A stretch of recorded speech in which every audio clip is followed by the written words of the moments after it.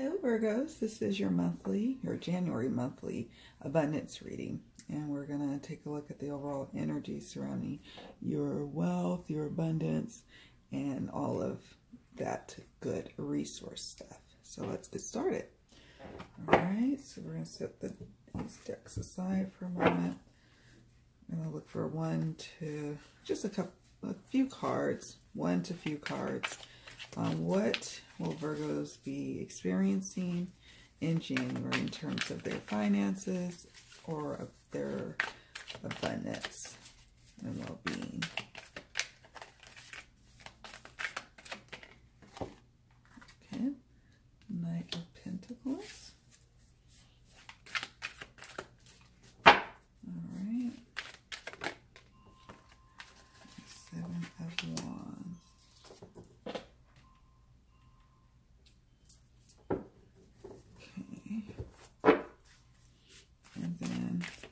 what advice do you have, Spirit, pertaining to attracting more abundance for Virgos? Conscious consumer. Okay. And savings. Interesting.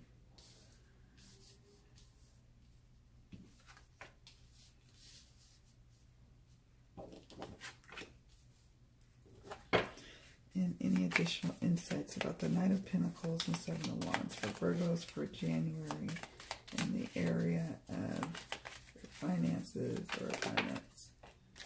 Huh.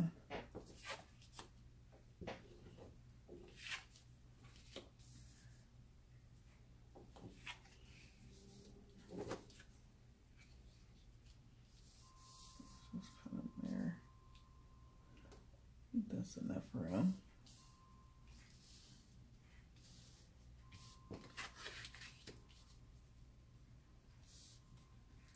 Okay, so let's now look at what tools will Virgos utilize in January to attract more abundance. And it's beautiful. We have back-to-back um, Page of Cups and Knight of Cups.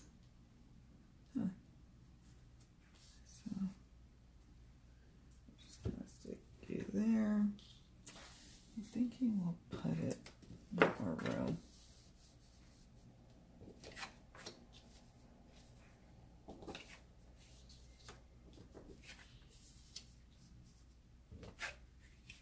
Like that. Nice. Okay. What tools, windfall of abundance. Face your financial fears.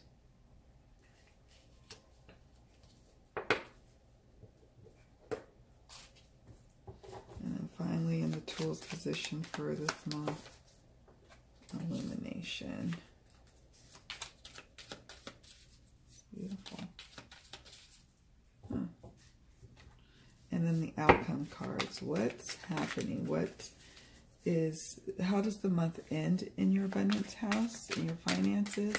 What do you take away into um, mid-February and beyond? Or what do you leave behind January, Virgos, in the area of abundance? We have Four of Cups. Any other messages about what you will be? Okay.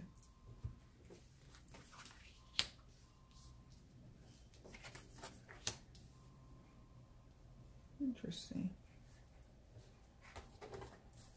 And any information or advice about the outcome of the month for Virgos.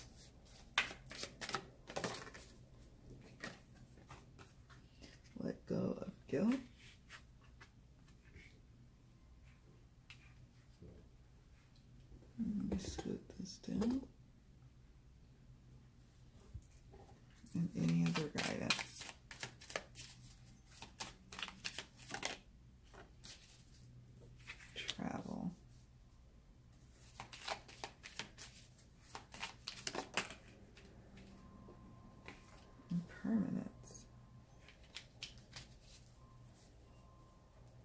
Hmm. Okay.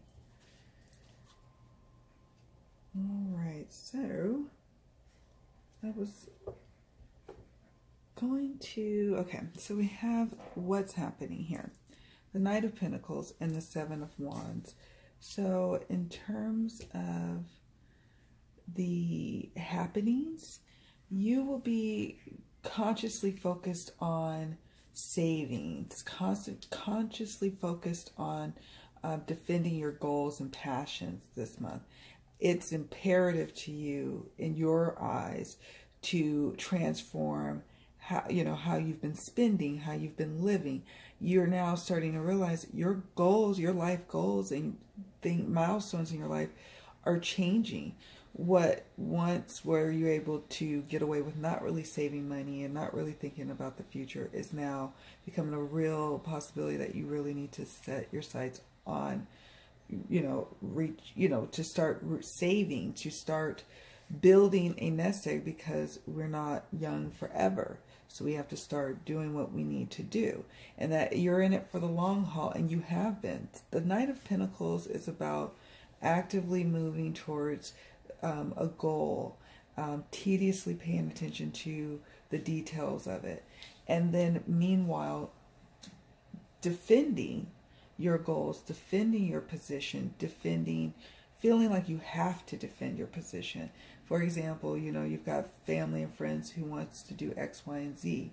They want to go on a trip. They want to do this. They want to do that and you found that you need to be a lot more conscious of your spending. So you kind of feel on the defensive in January, like when you have to decline events or decline activities.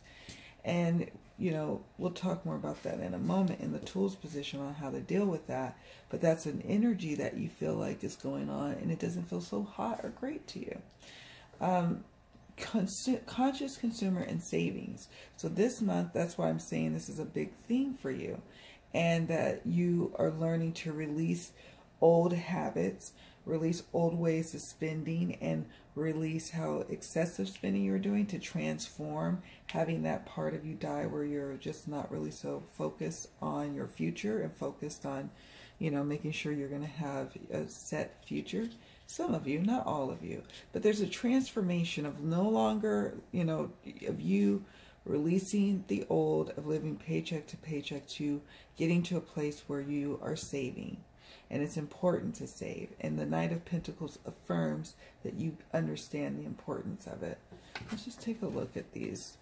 Conscious consumer. It says you have the power to heal and help the world with your decision buy only products and services that are ethical and environmentally friendly. As a conscious consumer, you choose to invest in fair trade and organic goods. You live simply and you purchase only that which you need. So maybe before you, you know, love the excess creature comforts of life.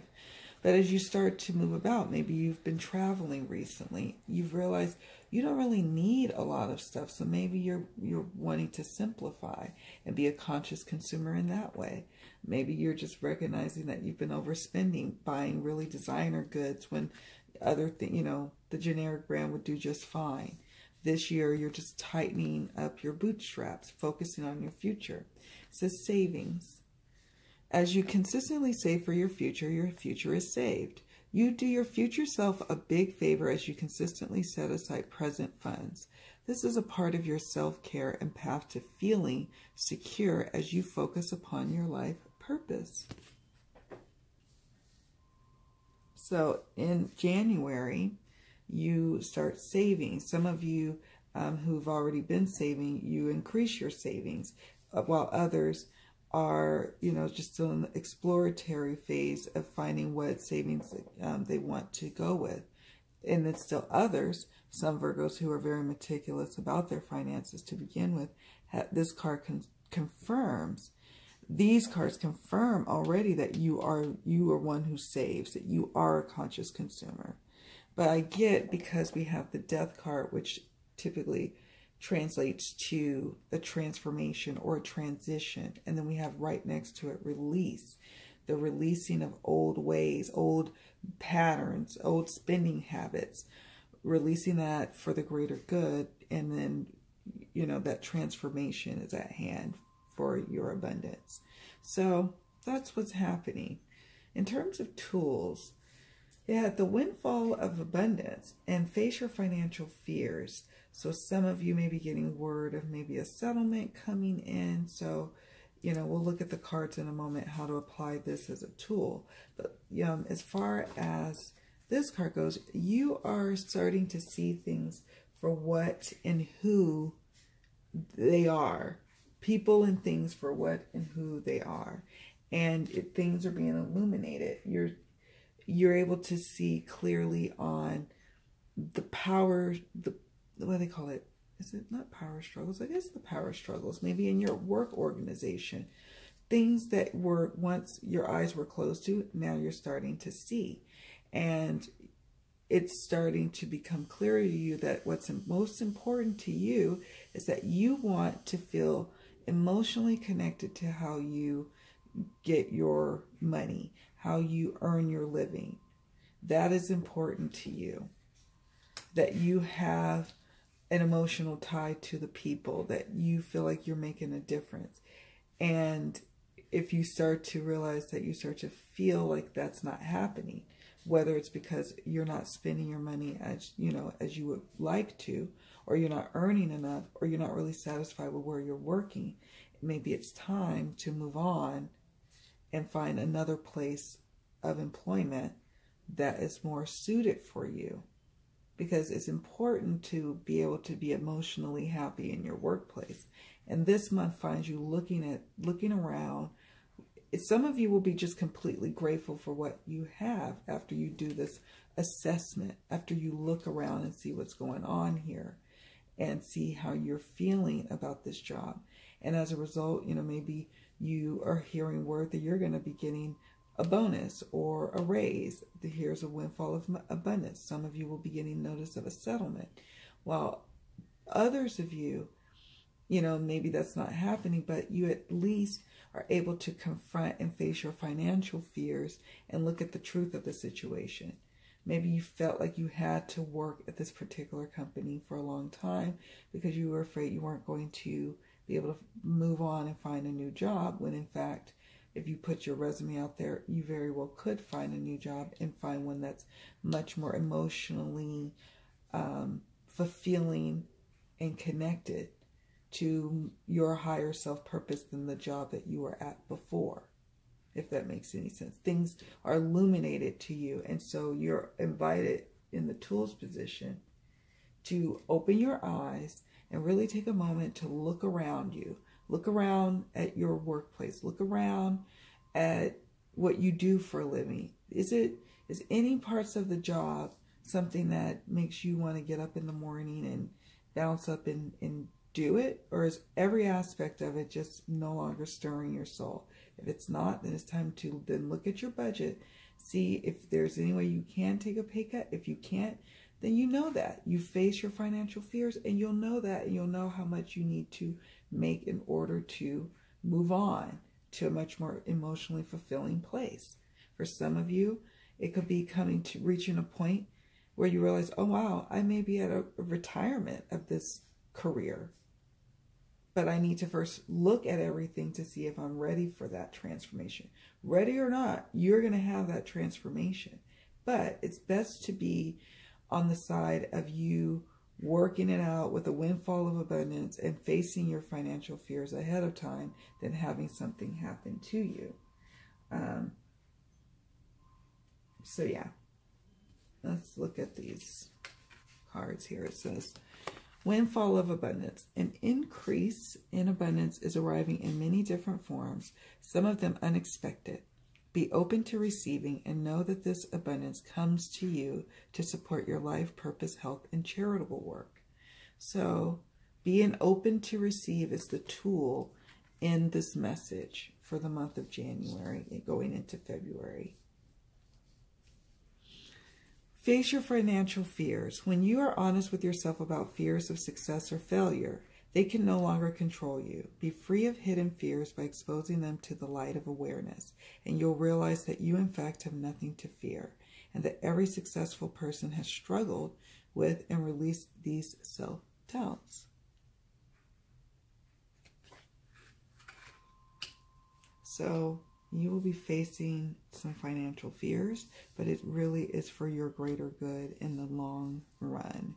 And that's a good thing because now you'll know you know where you stand and when you can, you know you don't you'll realize that you're more free than you thought. And then finally the outcome. We have the four of cups the king of wands and then the ten of pentacles. And wow okay so in the end if we kind of look at everything here is that boredom was kind of starting to set in at the beginning of the month or you were starting to be bored with certain aspects of your career or your your hobbies or your interests and bored with life in general. And maybe even some of you are feeling guilt about that boredom because really you recognize that you have it going on. You have many of you are doubly blessed over. Um, but there's this sense of there's something more that's needed as we see with the tools uh, position up here that you know you you don't want to feel boredom on the regular. Now for some of you this is just a mild just a mild occurrence of this a season if you will. And the sooner you let go of guilt and you it appears that you do but you have to go through this whole process, the easier it is to transform and move on like this butterfly and move on to your destiny. It says here, when you allow your light to shine brightly, you inspire others. Forgive yourself for what you think you've done or not done, and trust that God loves you unconditionally for who you are. Learn and grow from past mistakes instead of berating yourself for them. So, we're always going to be evolving, always going to be trying things. And as a result of trying new things, mistakes may happen. You just, so it's nothing that um, should keep you from growing. And I, I think that you realize this. And as the month progresses on, you have the King of Wands, where you really champion, understand that you are you are a success, that you are a go-getter, that some of you reach these conclusions after traveling. Maybe some had to travel for business, some travel for pleasure, but in the end, you come back feeling really accomplished, really satisfied with yourself. And you, like I said, just goal oriented and driven. And that's the outcome and the takeaway that you carry into the next month and beyond, as is the Ten of Pentacles. This is someone who's sitting perched in their chair, happy, fulfilled, have their family, have their home life in order. Um, they realize that you come to a realization that you have a permanent, like blessed life. It feels like it feels like you've set yourself up, set your family up, set set everyone up for everyone's greater good around you but in the beginning of the month, and these are energies that you don't really carry forth, but it's something to work through. There's some sort of boredom or and guilt surrounding the boredom, and there's some sort of you know feeling like guilty if you want to do something else for the sake of yourself. But it, seems like there's a transformation and softening of that, and exploration and success of realizing that you can start to explore other options and blossom into other things and not have to just be married to a career or job that no longer serves you. And once you let go of that guilt, it opens the door to you being able to A, receive the blessings that are right there already with you, and B, to for you to constructively go out and look for new and better and more suited better suited opportunities for you once you stop feeling the guilt. Because that's the problem. Sometimes we start beating ourselves up like oh i should be grateful. I should be grateful that i have this job. Um, i shouldn't be trying to do this or that. Well as long as you keep staying in that energy well you're never going to see what else is out there or really see if this this current job is really suited for you anymore. So you've got to let go of the guilt. All right, my dears. Well, I rambled long enough, longer than I had planned. Uh, but I want to thank you so much for allowing me to do this reading for you. Um, I see beautiful things happening for you in January. Congrats. And I will see you all in the next video. Bye.